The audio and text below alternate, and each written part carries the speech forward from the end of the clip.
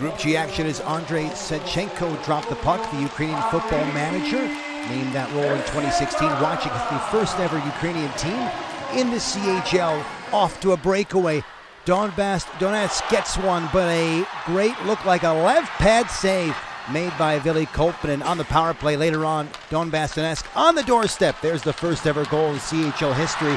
And it's struck by number 92 Pavel Medvedev on the doorstep. Gets the rebound just over the pad of Vili Kolpanen. And it's a 1 0 game with a nice pass. They came off Stefanovic's stick. And so 1 0 in the first period on what was a reoccurring theme of the game power play goals. We go to the second period. Good chance right there off the side of the goal. A scramble for it from down low. Stefanovic sends it across and maybe just the glove by Kolpanen. Later on in the second, just past the halfway mark.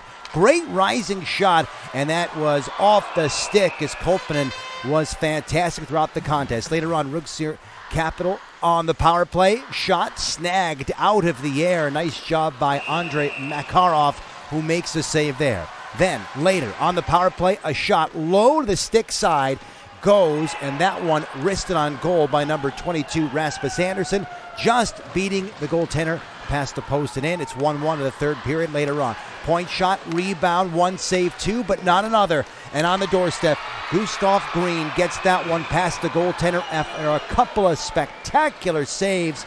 Right there, number Marcus Olsson, number 40, but not the third chance and that was just too much for Makarov to handle, and it's in the back of the net. So a 2 1 lead for Rungsted later on.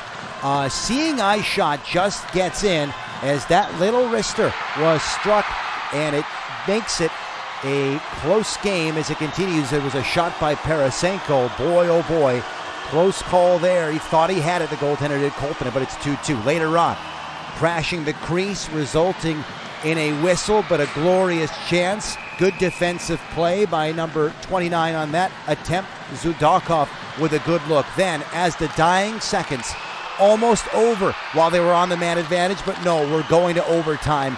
And the theme of overtime, the save right there. They continue. Kolpanen was amazing. A backhander, but he says no and shuts the door. We continue on the extra session. The redirect Makarov once and then twice another save he makes to keep that puck out as Marcus Olsson thought he had the game winner. But we go to a shootout, and there's a shot perfectly placed.